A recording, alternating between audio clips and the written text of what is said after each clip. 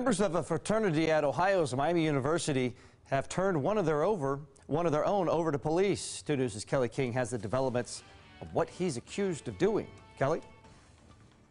Well, John, 21-year-old Cameron Wallace of Springboro is a member of Alpha Sigma Phi. He's accused of having a hit list and threatening to shoot up his fraternity. Oxford police say he sent text messages threatening to burn down another student's room. They say he also made a phone call saying he wanted to shoot up the frat and had a list of people who he wanted to kill.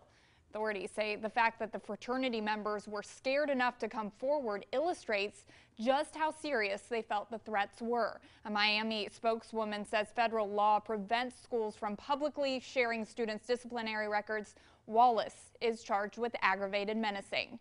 Kelly King, 2 News Today, working for you.